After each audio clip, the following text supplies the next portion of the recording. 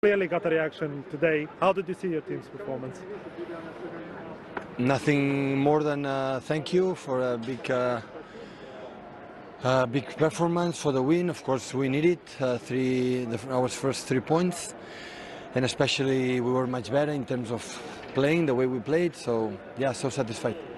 We know that Norwich is a team that like to keep the ball and, and uh, attack, but you press them really high and they, couldn't uh, have more than three, four passes. That was the plan. That it was the plan, yeah, absolutely. So uh, we have experience with them. When we let them play, we saw the game against Liverpool and the other teams. Like uh, we let them play, they have the ability to do it. They contact really good inside. They put the balls outside with the fullbacks, and after they make the good runners. And uh, we decide. Well, no, we decide. This is what, we, what I would say we are as a team since we are together to try to to go.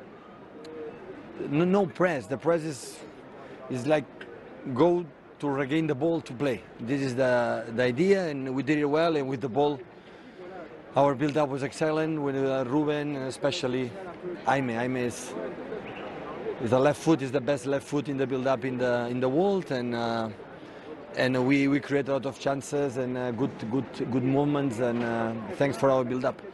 It might not be the best uh, or the prettiest goal he will ever score, but how important was it for uh, Jack to score his first goal with the club? Well, yeah, it's important, but you know what they have to do is uh, settle good and you know read what we want to do.